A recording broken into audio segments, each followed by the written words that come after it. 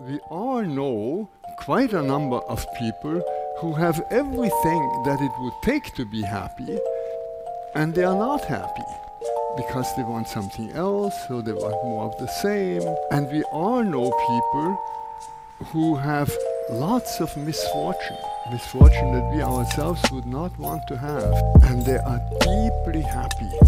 They radiate happiness. They are surprised. Why? Because they are grateful.